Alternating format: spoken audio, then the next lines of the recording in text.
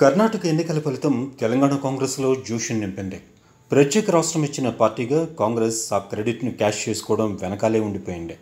దీంతో వరుసగా రెండుసార్లు అధికారంలోకి దూరమైంది. గతంలో జరిగిన తప్పులు మళ్ళీ జరగకుండా జాగ్రత్తలు తీసుకుంటూనే ఈసారి ఎలాగైనా అధికారంలోకి రావాలని కాంగ్రెస్ డిసైడ్ అయింది. దీనికోసం ఎంత దూరమైనా వెళ్ళేందుకు ఎన్ని మెట్లైనా దిగేందుకు సిద్ధమైంది. కేసీఆర్ను గద్దెదించడమే లక్ష్యంగా పావులు కదుపుతోంది. చిన్న అవకాశం దొరికినా వదిలిపెట్టడం లేదు కాంగ్రెస్.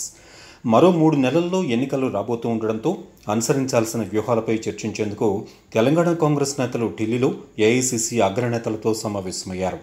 రాహుల్ గాంధీతో పాటుగా ఏఐసీసీ అధ్యక్షుడు Kharge party general secretary Venugopal లాంటి టీ కాంగ్రెస్ స్ట్రాటజీ కమిటీ భేటీ అయింది. తెలంగాణలో ఈసారి ఎలాగైనా అధికారంలోకి రావాలని నేతలకు రాహుల్ దిశానిర్దేశం చేశారు. అంతేకాదు గట్టిగా చురకలు పెట్టారు. హద్దు దాటితే చూస్తూ ఊరుకునేది లేదని వార్నింగ్ ఇచ్చినట్లుగా తెలుస్తోంది. తెలంగాణ నేతల మధ్య విభేదాలు తారస్థాయికి చేరాయి. ఇదే విషయంపై మీటింగ్లో ప్రధానంగా చర్చకు వచ్చినట్లుగా తెలుస్తోంది. పార్టీ అంతర్గత విషయాలపై మీడియాకు ఎవరూ ఎక్కొద్దని నాయకులకు రాహుల్ గాంధీ స్ట్రాంగ్ వార్నింగ్ ఇచ్చారు.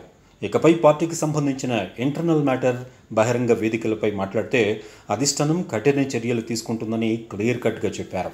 నేతల మధ్య అభిప్రాయ భేదాలు ఉన్నా విభేదాలు వచ్చినా వాటిని చర్చించుకుని పరిష్కరించుకోవాలని సూచించారు. పార్టీలో ఏ నాయకులు ఏం చేస్తున్నారో తనకు అంతా తెలుసని రాహుల్ గాంధీ ఓ మాట గట్టిగానే అన్నట్లుగా తెలుస్తోంది. ఇప్పటి వరకు ఎవరెవరు పార్టీ కోసం ఏం చేశారో ఇప్పుడు ఏం చేస్తున్నారో సమాచారం అంతా తన దగ్గర ఉందని హెచ్చరించారు.